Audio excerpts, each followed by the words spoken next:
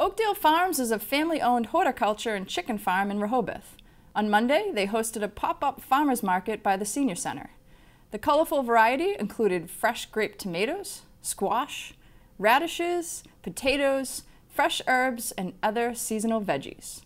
The farmers market will not return until August, but home delivery is available. Farmer Laura Smith provides more details. We opened a home delivery service when the pandemic started, and so we do deliver to Norwood because we do have a lot of customers here um, in Norwood. Uh, so we deliver uh, every week on a Wednesday. You just go online to our website, you place your order, and you can um, either pay with a credit card or you can pay with your EBT card. Thanks, Laura. This farmers market also accepts payment by SNAP and HIP benefits.